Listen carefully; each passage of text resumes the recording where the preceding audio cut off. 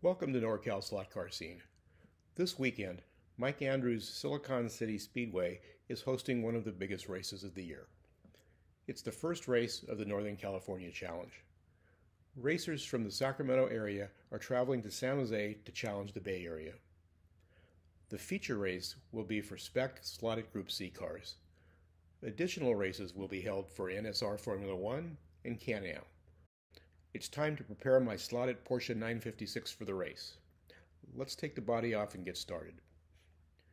The first thing I do is check the body and see if there are any parts that have come loose from the previous race and glue them back into place. Next, look at the inside of the body and get rid of any rubber that has built up. Now let's go through the chassis. Race cars get dirty. So clean the chassis to remove any rubber or grime that has accumulated. Now remove the tape used to control the motor pod movement and make sure that the motor pod is still free and not binding. Spin both front and rear axles to make sure that they are rotating freely. Next, put the chassis on a setup block and check the height of the front wheels.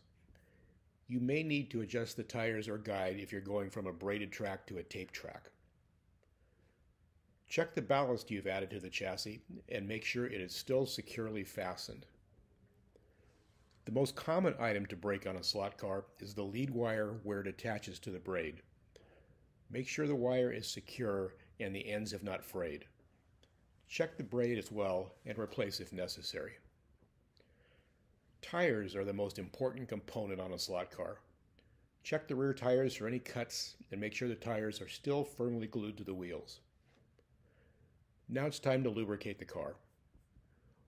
Oil the rear bushings the contact points on the front axle, the motor bushings, and the guide. Since this is an inline car, I also lubricate the crown gear. Finally, replace the tape on the motor pod, reattach the body, and make sure that the body still moves freely on the chassis.